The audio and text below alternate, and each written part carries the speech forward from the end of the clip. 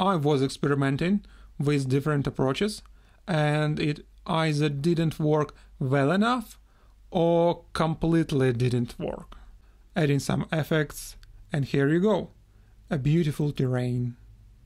Hello everyone, my name is Sergey Lerg, and I'm starting to work on my first commercial desktop game. So, welcome to the beginning of this devlog series. When starting a new project, one of the common mistakes is trying to make a game that is simply too big. You really have to start small and carefully pick an idea you are certain you can finish. Participating in game jams totally helps with estimating your own abilities.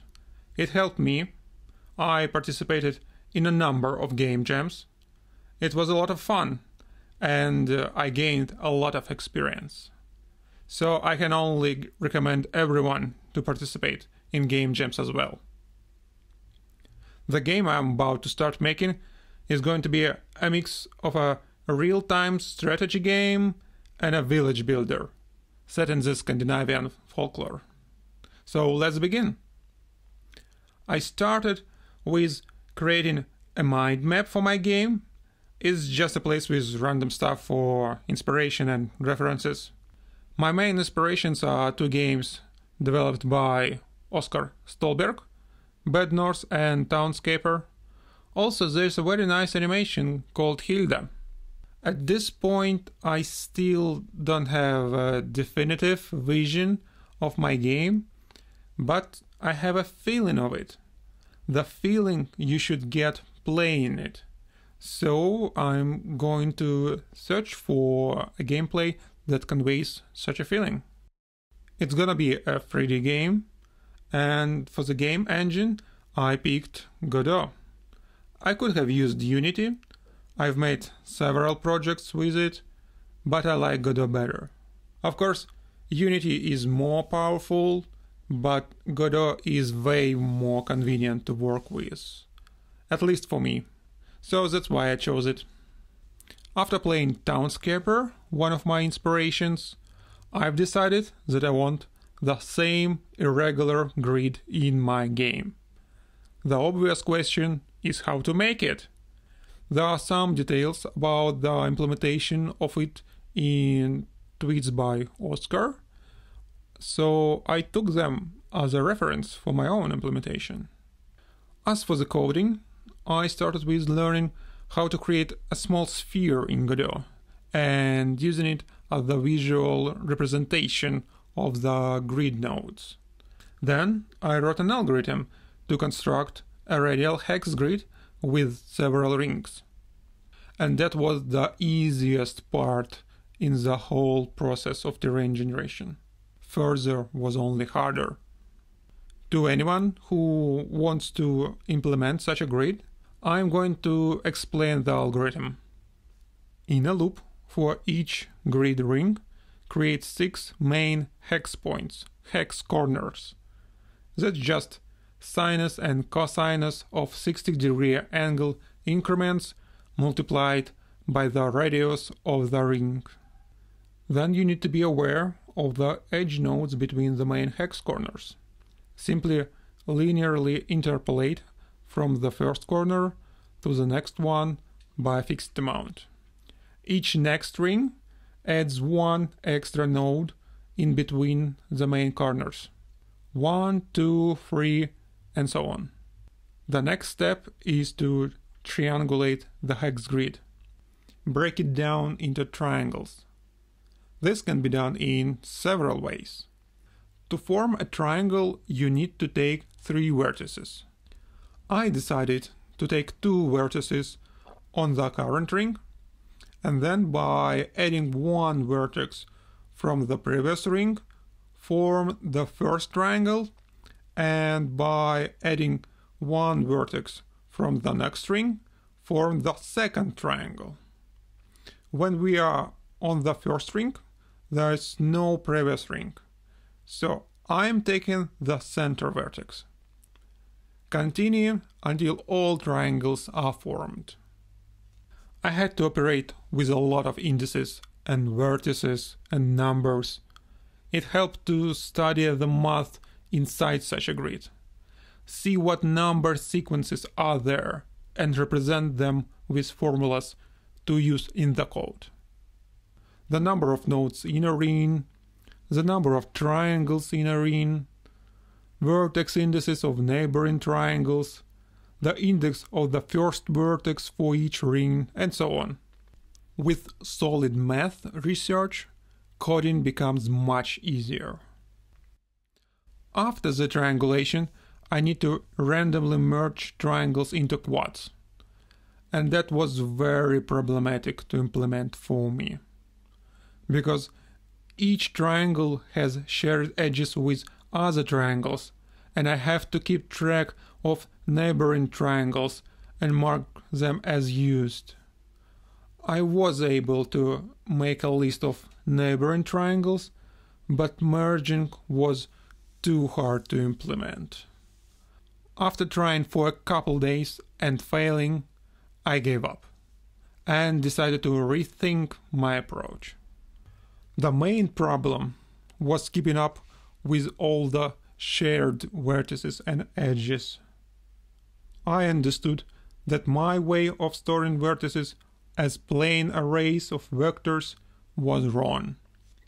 What I needed is proper classes vertex, edge, and face.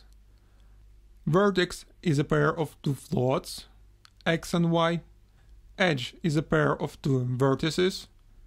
Face has either three or four edges and vertices. But that's not all. The crucial detail is that vertex and edge classes are singletons, meaning that there could be only one instance of a vertex with a given coordinates and only one instance of an edge with a given pair of vertices.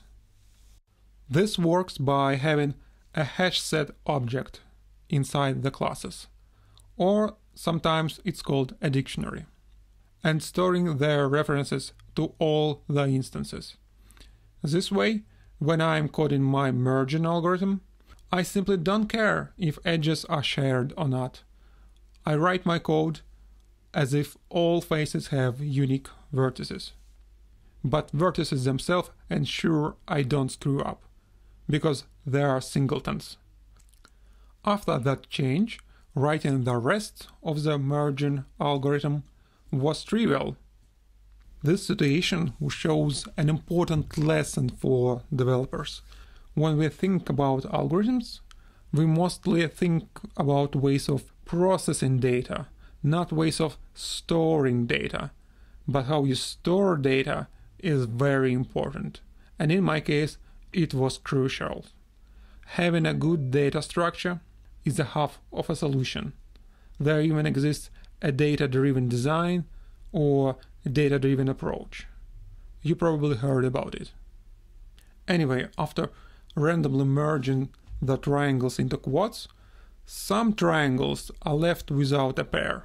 Those triangles will give us this interesting irregular look of the grid later. The next step is subdividing each face. Again, with the new data structure, the code is trivial. For each face, find the centroid point and, depending on the amount of vertices, construct either one or another set of new faces. In this process, all solar triangles are converted into three quads, and we end up with no triangular faces. When subdividing is done, the next step is the most interesting, also the most challenging. People call it relaxing the grid, but in my mind, it's more like squarifying the grid. The main idea is to move vertices around so that each grid cell looks more like a square. They can't be exactly rectangular, but trying to be so results in a nice unified look of the grid. I was experimenting with different approaches and it either didn't work well enough or completely didn't work, resulting in a garbage meshes. Eventually, in a few days, I came up with a solution. The algorithm is multi-step. In my case, I make 100 iterations.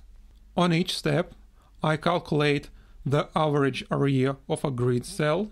From that area, I can calculate the length of a side of the square with the same area. Actually, for my algorithm, I need the diagonal, half the diagonal to be precise. Let's call this value d.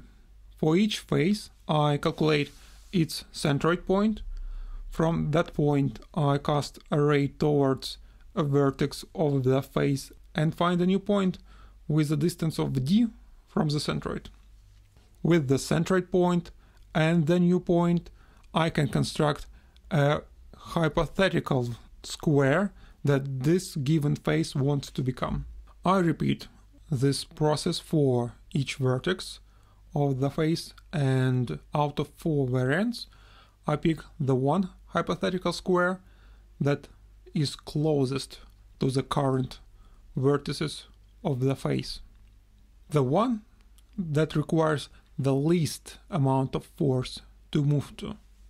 I calculate the force for each vertex and store it in a hash set, accumulating forces while processing all faces. After looping over all faces, I loop over all vertices and apply accumulated force for each vertex, nudging it by small steps towards hypothetical square shapes. And after days of work, the result is this beautiful grid. Isn't it gorgeous? You can imagine right away streets, hills, and rivers on it. I love how fluid the grid becomes during the process. I ran the code over and over just to enjoy watching it move. Mesmerizing.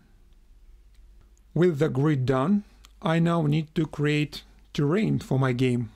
Since all grid cells are almost square, I decided to take a cube as the basis. I took the built-in mesh of a cube in Godot, copied its vertices with some other mesh data, and modified it to match my grid cells. To my surprise, the vertex array of the cube has quite a peculiar layout. I was expecting that each four consecutive vertices would form a single face. But instead, at the beginning, four odd vertices form one face and even vertices form an opposite face. So vertices 0, 2, 4, 6 belong to one face and vertices 1, 3, 5, 7 to another face. If you know why it is this way, please let me know in the comments. Here is the full list of what vertices form what faces. For terrain generation, I use Perlin noise, simply getting the noise value at xy coordinates of the centroid of each grid cell. If the value is below some threshold, I mark it as water, and if it's above some other threshold, I mark it as rocks adding a simple camera controlling script that I wrote for my other prototype, adjusting lighting, shadows, adding some effects, and here you go, a beautiful terrain. All that is left is to add some native inhabitants. Here, much better. Hello, Mr. Troll. How do you like your new home, Mr. Troll? Enjoy it while you can, Mr. Troll. At this point, I've decided that this is enough progress for the first devlog, and I started working on this video. I hope you enjoyed it. If so, don't forget to subscribe to my channel, and if you want to try the game in its current early state, you can download it for Windows or macOS on my Patreon page patreon.com slash lerg. The link is in their description as well. Please consider supporting me on Patreon. The more support I get, the more time I can devote to working on the game. Big thanks to all my current Patreon supporters. You guys rock. You may also want to enable the notification bell for my channel. I don't release videos often, and with the notification you can be sure not to miss my next video in your subscription feed. Next, I will be working on structures and villagers. Thank you for watching.